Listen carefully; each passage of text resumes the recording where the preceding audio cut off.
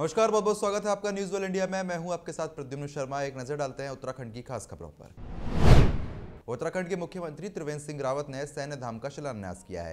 राजधानी देहरादून स्थित सैन्य धाम पाँच एकड़ भूमि पर बनाया जाएगा। आपको बता दें कि प्रधानमंत्री नरेंद्र मोदी ने लोकसभा चुनाव से पहले प्रदेश में सैन्य धाम बनाने की घोषणा की थी। सीएम ने धाम के लिए पंद्रह लाख रुपए की घोषणा करते हुए कहा था कि प्रदेश में अब चार नहीं, बल्कि पाँच धाम होंगे। उन्होंने कहा है कि धाम के निर्माण के लिए शहीदों के गाँव की मिट्टी को भी एकत्रित किया जाएगा।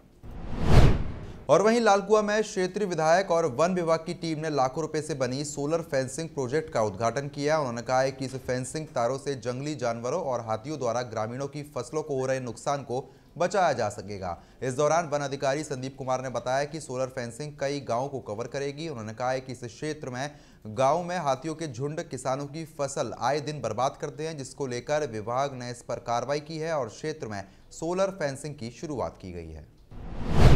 कृषि कानूनों के खिलाफ राजभर के किसान देहरादून स्थित राजभवन कूच कर रहे हैं। इसके लिए डोईवाला, विकासनगर और रुड़की के किसानों ने तैयारी पूरी कर ली है।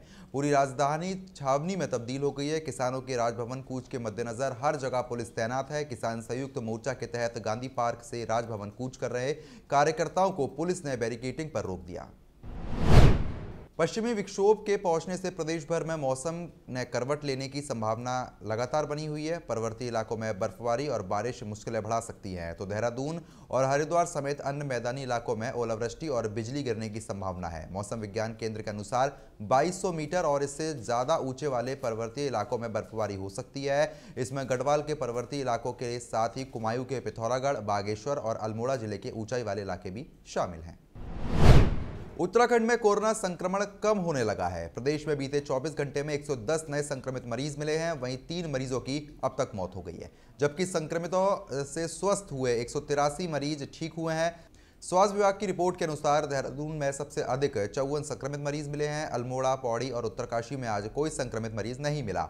नैनीताल में उनतीस, हरिद्वार में तेरह, रुद्रप्रयाग में तीन, चंपावत और पिथौरागढ़ में दो दो, चमोली, बागेश्वर और टिहरी में एक एक उधम सिंह नगर में चार कोरोना पॉजिटिव पाए गए। उत्तरकाशी में पुलिस ने 12 ग्राम स्मैक के साथ हिमाचल प्रदेश के दो युवकों को गिरफ़्तार किया है। इस मामले में पुलिस अधीक्षक मणिकांत मिश्रा ने युवकों को पकड़ने वाली पुलिस टीम को 2000 रुपए नकद पुरस्कार देने की घोषणा की। पुलिस कार्यालय उत्तरकाशी में पत्रकारों से बातचीत में पुलिस अधीक्षक मणिकांत मिश्रा ने कहा कि अवैध रूप से नशीले पदार्थ का काम चल रहा था, जिस पर पुलिस ने अब कार्रवाई की है।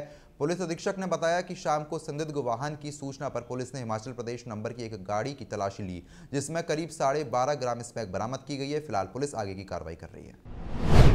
फ़िलहाल इस बुलेटिन में सिर्फ़ इतना ही। बने रहिए न्यूज़ वेल इंडिया के साथ। नमस्कार।